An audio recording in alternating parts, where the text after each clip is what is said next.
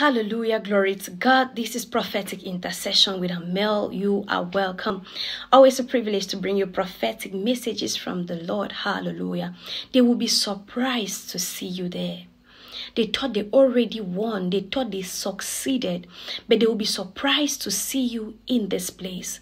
God gave me a prophetic word to someone, and He said that your enemies they felt like maybe because of, of the incantation they did against you, because of the plot they did against you, they thought they killed you, they thought they had already trapped you, they thought it was over for you, but they are yet to see the last of you. They will be surprised to see where God has taken you.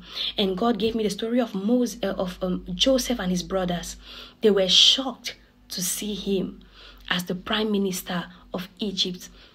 I can imagine the shock in their face. They could never have imagined in their entire life that that was Joseph. That is why, even standing in front of him, they could not even recognize him because they never imagined. That is the shock that God is about to give to your enemies.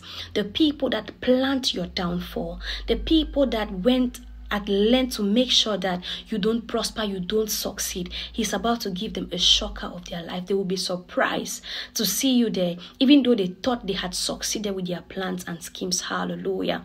Glory to God. Father, we thank you for this prophetic word. We pray for a speedy manifestation in the name of Jesus. May the Lord bless you and keep you, cause his face to shine upon you.